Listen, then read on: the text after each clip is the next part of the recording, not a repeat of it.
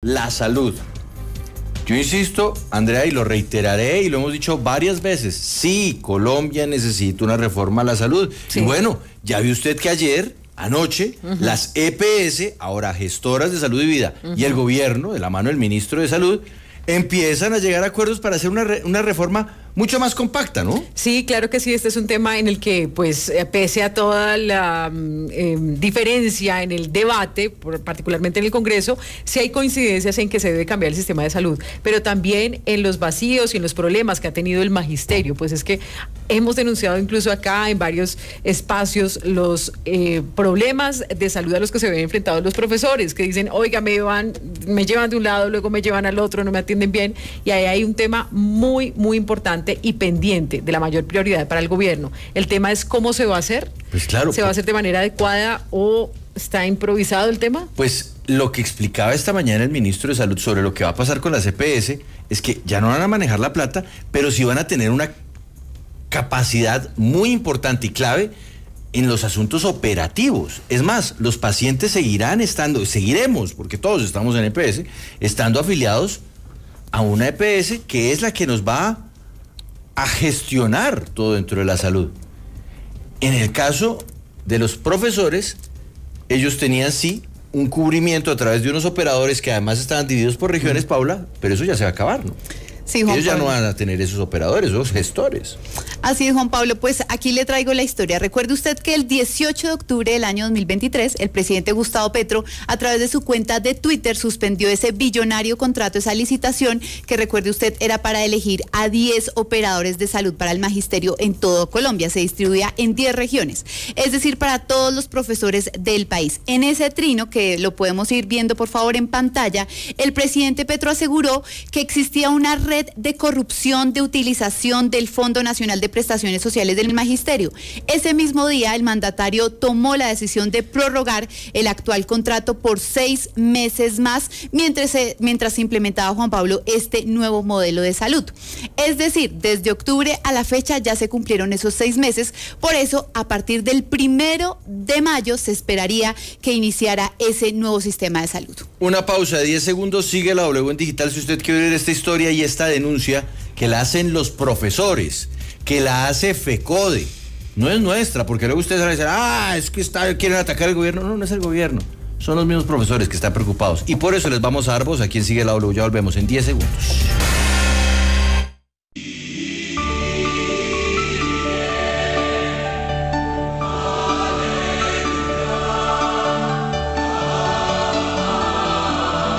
Bueno, entonces, Paula, primero de mayo, que está aquí a la vuelta del esquino, es 25, faltan seis días. Sí, señor, en una semana. Quiero que volvamos a ese trino del presidente, porque según ese anuncio, Juan Pablo, en, una semana debería estar iniciando este nuevo modelo. Incluso en este mes de abril, la ministra de Educación, Aurora Vergara, anunció con bombos y platillos a todos los profesores del país que tranquilos, que su nuevo sistema de salud ya estaba montado. Veamos maestros y maestras de Colombia. Tenemos una gran noticia para ustedes y sus familias. En el marco del Consejo Directivo del FOMAC, hoy primero de abril, hemos aprobado el acuerdo que nos permite poner en marcha el nuevo modelo de salud y seguridad en el trabajo para ustedes y sus familias. Hoy es un día histórico, simbólico para los maestros de Colombia y sus familias, pues se acaba de aprobar el nuevo modelo de salud que arrancará desde ya para empezar a trabajar sobre el mejoramiento de las condiciones de salud de los maestros y sus beneficiarios. La Federación Colombiana de Trabajadores de la Educación FECODE, en este compromiso con la salud y la vida de los maestros y las maestras y sus beneficiarios, hemos aportado en la construcción de este modelo y por esto hoy reiteramos este compromiso desde la Federación con el Magisterio Colombiano. Para la fiduprevisora es una gran oportunidad implementar este modelo de salud que está enfocado a la promoción y prevención. Este modelo integra la salud y la seguridad en el trabajo. Esta apuesta, con todas las personas que nos han acompañado de los diferentes ministerios, de FECODE y de las diferentes unidades de trabajo, demuestra que el gobierno nacional está cumpliendo con esta apuesta de dignificar la labor docente, de dignificar su vida y la de sus familias. Colombia Pues, Juan Pablo, ese entusiasmo y esa alegría no duró más de dos semanas. Y muestra de ello es el documento que conocimos en exclusiva en Sigue la W en donde los propios representantes de FECODE ante el FOMAC, es decir, Cristian Rey Camacho y Georgina Arroyo, denuncian que la fiduprevisora, en un acto completamente irregular y oscuro, eligió a los mismos operadores de siempre, a los mismos que denunció el presidente Gustavo Petro. Advierten los mismos profesores de FECODE que no se hizo un proceso de licitación, sino que la, la fiduprevisora está empezando a elegir a dedo aquellos operadores que quiera. Así que, por favor, veamos ese primer documento documento, eh, Andrea, si me ayuda a leer, veamos las observaciones de FECODE, veamos esa primera página. Sí, mire, Ahí está entonces reseñado 24 de abril de 2024, si lo ponemos full pantalla, porque usted sabe que yo no tengo tan buenos ojos como Juan Pablo. Entonces, vale. Dice, las siguientes observaciones y precisiones se realizan como representantes de FECODE ante el Consejo Directivo de FOMAC en la sesión ordinaria número 9 de 2024, asincrónica Consejo Directivo FOMAC. Uno, dice, no podemos realizar un análisis objetivo puesto que nunca se nos dio a conocer los eh, elementos, técnicos, para escoger o estos proveedores. Ayúdeme usted con el segundo, Juan A ver, Juan Pablo, ah, número dos, nosotros. Como representantes de FECODE ante el FOMAG debemos conocer estos criterios para los cuales se realizó la invitación y luego se escogieron. Tres, que la fidoprovisora sustente claramente las razones por las cuales numerosas IPS se han quejado de no estar en el banco de proveedores si esto ha pasado con las IPS que garantiza que con los proveedores no haya sucedido lo mismo. Cuatro, ¿cuáles son las razones para contratar a los mismos operadores? Ejemplo, contrato de auditoría D y G. Asimismo, indicar las razones de escogencia de las empresas de transporte que se Y demás contratos que incluyen la prestación remitida por fiduprevisora. Pese a que el manual de contratación quedó establecido que seríamos invitados como observadores, eso no sucedió ni para estructurar los lineamientos de la invitación ni la escogencia de los proveedores. Sexto, Andrea, ayúdeme. No se puede votar sobre algo donde Fidu Previsora prácticamente dice quiénes son. A través de esta acción es una votación direccionada, sin tener criterio objetivo por parte de los consejeros para tomar una decisión. Y la séptima, se entiende la coyuntura de las, de, las acciones. No obstante, Fiduprevisora debe habilitar un link con acceso abierto y permanente a todos los consejeros y sus asesores técnicos para evaluar permanentemente la contratación a realizar. En el otro documento, eh, bueno, dicen que hay un voto negativo. Bueno, eh, este es como, esos son los primeros puntos más importantes en donde tanto los dos principales representantes de FECODE dicen, señor. Uno, falta de transparencia. Dos, no tuvieron en cuenta los profesores. Y número tres, lo más importante, dicen ellos, es que no hubo un proceso que les garantizara a ellos que vayan a tener una buena atención. Exacto, Juan Pablo. Y que eligieron a los mismos que denunció el presidente Gustavo, eh, Gustavo Petro. Pues en efecto, como en este documento denuncian los maestros de FECODE a la FIDU previsora, esta entidad, esta fiducia, está empezando a hacer a su antojo la selección de los prestadores de salud y muestra de ello son las diapositivas que ellos mismos le enviaron a los profesores. Así que veamos por favor la diapositiva donde la FIDU previsora contrata los servicios asistentes por favor, la diapositiva eh, de la FIDU previsora. Ahorita vamos con ese gráfico, vamos con la diapositiva. A ver, la diapositiva que presenta que Paula, váyanos contando mientras la encuentran en producción. Pues Juan Pablo, en esta diapositiva que entrega eh, ah, la misma FIDU previsora, aparece que ellos, como ellos van a hacer prácticamente que la EPS de los maestros, ellos tienen que empezar a, armar esa red de salud. Entonces van a contratar a las ambulancias, a los doctores, a las IPS, los prestadores, mejor dicho, todo lo que implica una red de salud. En este contrato se da cuenta que van a contratar los servicios asistenciales y ponen, imagínense, contratistas recomendados. Dice, Cure Latam SAS, Innova Medical Solution SAS, BG Medical SAS, Medical Health ¿Y recomendados por qué o sobre qué base? Es que Juan Pablo, no está ese, no o por quién, no está ese criterio técnico de por qué ellos son los recomendados. Por favor, veamos la, la otra parte de la diapositiva. Otra cosa que llama la atención y que lo ponen específicamente los profesores en este documento es la contratación de esa empresa que se va a encargar de hacer la auditoría, que es DIG Consultores. Esta empresa ha sido muy cuestionada, Juan Pablo, porque detrás de esta empresa es donde estarían esos políticos a los que usted hacía, referencia. Mm. Y eh, esta misma misma vuelve a quedar, Juan Pablo. Hicieron un proceso de selección, le dijeron, oiga, páseme una propuesta y como se evidencia acá en este documento, pues fue el único proponente que se presentó para Hágame ser favor. la que se va a encargar de auditar Andrea, los más Andrea, de 13 ah, billones de pesos. Proceso de uno. A dedo. Proceso de uno Sí. para la auditoría. No, es que eso, eso es importante lo que está diciendo Paula, porque esto lo están advirtiendo desde FECODE. Pues también hay que decirlo, en FECODE hay una división importante, pero eso no le quita peso a quien también tiene representación en la junta directiva de FECODE. Y también están diciendo, no, no me parece que esto sea así, va a ser improvisado y direccionado. Sí, señora. Incluso ellos dicen, si antes teníamos una licitación pública, ¿por qué ahora la fiduprevisora está seleccionando a dedo? Y muestra de ello es que acá se hizo una invitación privada y seleccionaron al mismo de siempre, al auditor de siempre, DIG. Pero ahora sí nos vamos con ese gráfico para explicar cómo será el nuevo modelo de salud de los profesores. Entonces, Juan Pablo, ¿cómo funciona hoy el modelo actual? El Ministerio de Hacienda desembolsa los recursos para el magisterio a través del FOMAC. Entonces, en ese fondo llegan todos esos recursos que son billones de pesos y allí los administra la fiduprevisora. Hoy en día lo que hace la fiduprevisora, aparte de administrar esos recursos, es contratar a los operadores de salud, esos operadores que ya están montados en el país y que tienen eh, la misión de contratar a los prestadores. Esos son los 10 contratistas que durante muchos años se han eh, contratado pues, en el país, valga la redundancia. Hoy esto nos cuesta eh, por durante cuatro años el valor total de este contrato y de este desembolso del Ministerio de Hacienda es de 13.5 billones de pesos durante cuatro años. Ese es el valor del sistema que tienen hoy los maestros. Pero ¿qué es lo que está proponiendo el, el presidente Gustavo Petro? El nuevo modelo es que el Ministerio de Hacienda desembolsa los recursos al FOMAC y el FOMAC eh, pues se los pasa a la fiduprevisora, la fiduprevisora los administra, pero hasta ahí va a llegar, Juan Pablo, esa, ese desembolso de recursos, porque ahora la fiduprevisora será el gran operador de salud, será la EPS y será la encargada de contratar a los prestadores de salud. Aquí volvamos a poner el gráfico, por favor, porque hay algo que llama la muchísimo la intermediación de atención. los operadores. Exacto, quitan la intermediación de los operadores, pero eso no significa que va a ser más económico para los colombianos, porque la fiduprevisora muy inteligentemente le dijo al FOMAC, oiga, no, si yo ahora voy a ser eh, el gran operador de salud, a mí también me tienen que pagar no solo por administrar los recursos, sino también me tienen que pagar por ser el operador.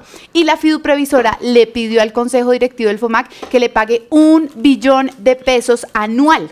Entonces, eh, y eso ya lo aprobó el Consejo Directivo del FOMAC. Entonces, si vemos y si analizamos el antiguo modelo con el nuevo modelo que se propone, por supuesto que este modelo va a ser mucho más costoso y va a ser de 14.4, eh, de 18.4 billones de pesos. Es decir, que pues no se cumplió el objetivo del gobierno nacional, que era reducir el costo del, del valor del sistema de salud de los maestros. Sumándole a ello, Paula, el detalle que aparece en la primera, las diapositivas que usted nos presentó de la presentación original de, de la fiduprevisora a los profesores, pongámosla, es que de verdad esa diapositiva vale la pena ver. Sí, señor. Por un detallito, la primera que le presentó la, diapositiva. fiduprevisora a los profesores. ¿Por qué vale la pena verla? Porque es que indica la forma en la cual podría terminar operando esto sin saber muy bien quién se beneficia, si el paciente o alguien, un tercero que no necesariamente sea el paciente. Contratistas recomendados. En este caso se habla de materiales de osteosíntesis, que esto es un ejemplo. Valor, 58 mil millones de pesos. 58 mil millones de pesos. Y unos contratistas recomendados, pero ¿a cuenta de qué? ¿Le van a salir más caros a los colombianos, a los profesores, a Fiduprevisora? ¿Van a ayudar a mantener unos precios que eventualmente serían beneficiosos y sobre todo competitivos dentro del esquema de salud? ¿Cuál es la realidad de estos procesos? ¿Se van a hacer a punta de políticos y amigos? ¿O se van a hacer de la forma en que resulte más eficiente, de calidad y que sea garantía para los eh, pacientes, profesores y sus familias?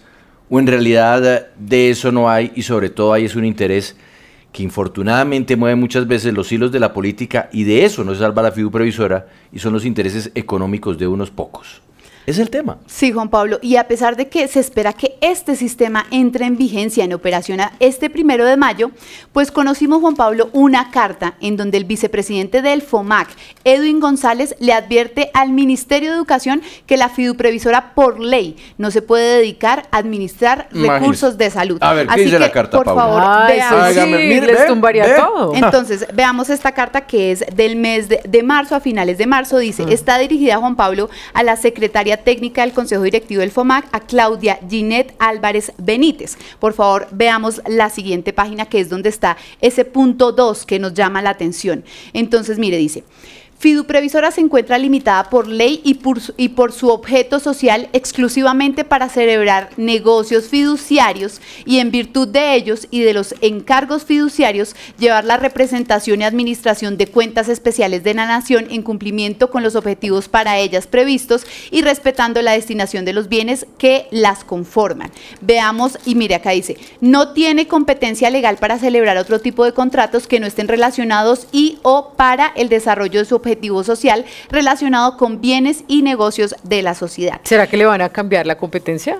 Pues veamos, Andrea, eh, ese, ese último documento en donde aparece la firma del vicepresidente del Fondo de Prestaciones y allí dice como otro punto, dice modificar el manual de contratación del FOMAC, dado que actualmente las modalidades de contratación contempladas no serían suficientes para justificar con base en los principios de la función administrativa y fiscal para la operación del modelo propuesto. No. Ahí está el mismo vicepresidente del FOMAC diciendo que esto no se puede hacer por ley, la fiduprevisora no puede ser Pero- una administradora de, ese- de Paula, servicios de salud. ¿Y qué dicen en el Ministerio de Educación? ¿Qué dice el resto de los profesores? ¿Qué dicen desde la fiduprevisora? Me imagino que todos están hasta ahora conectados con nosotros para darnos su perspectiva de un tema que no es menor. Son 800 mil colombianos con sus familias. Imagínese. Pues Juan Pablo, desde el ministerio eh, nos dicen que tenían muchas ocupaciones y que el lunes van a hacer una rueda de prensa sobre el tema. Y consultamos al presidente de la fiduprevisora, que es el que está siendo denunciado por los eh, directivos de FECODE, y él pues nos responde muy amablemente y nos dice gracias por la invitación, pero estoy a contrarreloj con jornadas de casi 24 horas trabajando en la implementación de este sistema. El equipo lleva apenas 25 días con esta nueva instrucción para implementar y con ese tiempo tan corto no tengo disponibilidad para hacer nada diferente. Es decir, que hace 25 días le dieron la orden, mire, usted tiene que montar un nuevo sistema de salud para los maestros. Pues es que No, recordemos lo que bien, dice el o sea, presidente. está bien Claro. que le monten un sistema de salud a los maestros. El problema es, y bien lo dice el, el subdirector del FOMAG, ¿es la fiduprevisora la entidad que debe estar encargada de ello? Exactamente, pues es que sí recordemos que le están metiendo el acelerador porque es que, insisto, eh, esa reunión de los directivos de FECODE en la Casa de Nariño se reunieron directamente con el presidente Gustavo Petro. Y allí una de las directivas que estuvo aquí en Sigue la W, eh, una docente le dijo, presidente, pero los recursos no están muy claros porque si no esto va a ser como tener una casa en el aire. Y él en ese momento le dijo a ella que tenía, estaba presentando los mismos argumentos que María Fernanda Cabal y por eso fue que ella salió a advertir que se sentía irrespetada porque no era una pregunta menor, porque para ella estaban improvisando. Y Juan Pablo, un punto adicional, también le preguntamos al presidente que se llama John Marín, John Marín de la Fiduprevisora, ¿por qué ustedes pidieron un billón de pesos adicional? Si se supone que el objetivo era reducir los costos y no nos dio respuesta. Nos dejó en azul. Saludo para la fiduprevisora. Mire, haga un ejercicio, Mauricio. A ver, Juan. Ponga en Google fiduprevisora, políticos, mm, no sé, corrupción. Y se va a encontrar una serie de historias. Algunas de ellas llegan allende los mares, a ciertas embajadas, donde señalan que quienes hoy ostentan esas representaciones diplomáticas en un pasado tuvieron las manos metidas en la fiduprevisora. Es más, creo, y ahí no- creo que no me equivoco, Mauricio, hay procesos judiciales que están siendo llevados ante la Corte Suprema de Justicia precisamente por eso. Porque es que políticos se han metido con la plata que no es de ellos a través de esta fiduciaria. ¿Va a pasar eso con la salud de los profesores? Ojalá no pase. Y mire usted, Andrea, alzo los ojos al cielo. No, pues es que imagínese. Ojalá no pase porque es la salud de los profesores y sus familias. Y debería garantizarse al igual que la de todos los colombianos. Claro, la de todos los colombianos, pero con una especial gratitud por los maestros que después de toda una vida, pues, eh, bueno, tienen la posibilidad de tener un, un sistema especial, pero que están en la expectativa, porque en este momento tienen muchos problemas, pero la idea es mejorar, no empeorar. Entonces, ojalá esto funcione bien. Oye, hay muchos. ¿Sí? ¿Ya encontró? Muchísimos. Pues claro. O sea, Mauricio, que siempre denuncia, se, sor- se- se le sorprendió. Es no, que, la a ver, profesora es por eh. ¿Qué encontró, Mauricio? Plan anticorrupción. Bueno, aquí se No, no, no, no, no vaya a decir nada tan porque- La sombra del regalo burocrático, Mm. tan director de la Unidad Nacional Hasta de hay un Riesgo. muerto. Tan- de- deje ahí. Y mire que hay un embajador muy reconocido que termina involucrado con ese tema de la fiduprevisora. Otra cosa es que mientras la justicia no diga nada, pues, Sí, señor.